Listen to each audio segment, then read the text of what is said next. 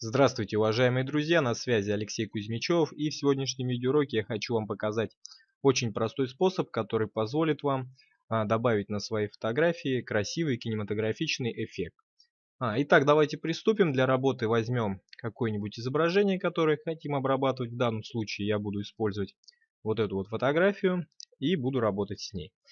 А, итак, первое, что мы с вами делаем, это создаем корректирующий слой кривые. Выбираем здесь корректирующий слой кривые. И в первую очередь нам просто нужно чуть-чуть повысить яркость нашей фотографии. Поэтому перетаскиваем а, вот, кривую вот таким вот образом вверх, выгибаем ее, чтобы у нас чуть-чуть повысилась яркость нашей фотографии.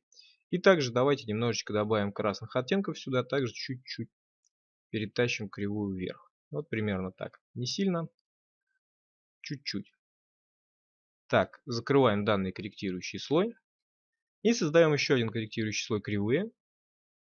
На этот раз мы поднимем яркость только светлых участков. Поэтому создаем две точки. Вот таким вот образом. И выгибаем кривую вот таким вот образом.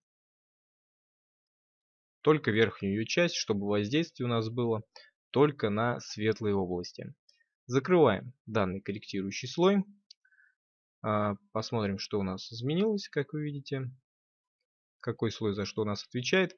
Можно немножко понизить прозрачность нижнего слоя. Ну, примерно до 70%, чтобы красный цвет немножечко ослабить. Да, вот так будет гораздо лучше. А, и после этого переходим на самый верхний слой, создаем корректирующий слой цвет. Вот, первый цвет мы с вами будем использовать.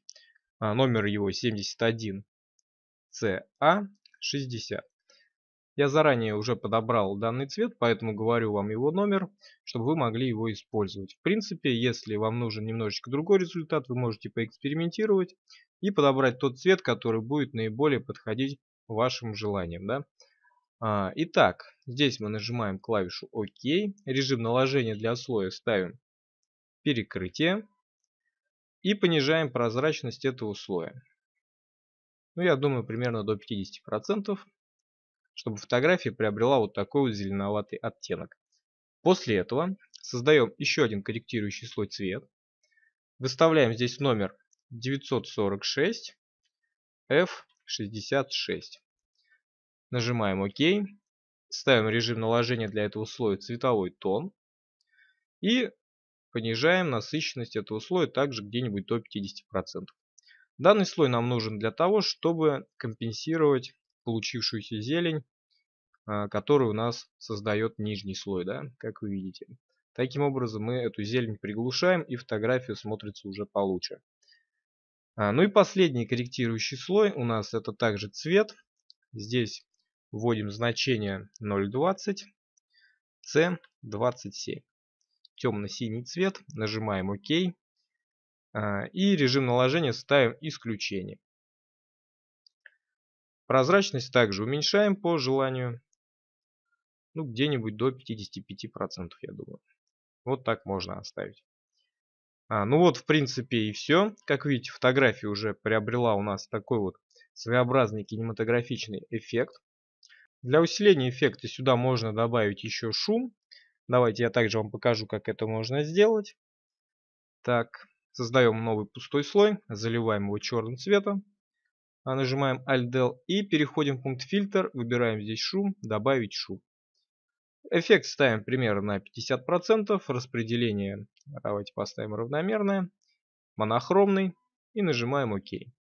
Чтобы шум был у нас помягче, давайте его немножечко размоем, переходим в пункт фильтр, размытие по гауссу и размываем примерно на 0,5 пикселя. Нажимаем ОК.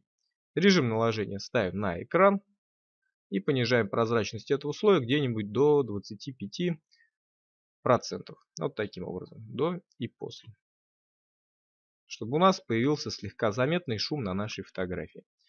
Ну и также финальным штрихом можно добавить э, черные прямоугольники сверху и снизу, как будто бы у нас Фотография это кадр из фильма. Давайте это также сделаем. Для этого выбираем инструмент прямоугольное выделение, выделяем сверху область, которую мы хотим залить черным цветом, ну, примерно вот такую, создаем новый слой и нажимаем комбинацию Alt-Del, чтобы залить этот участок.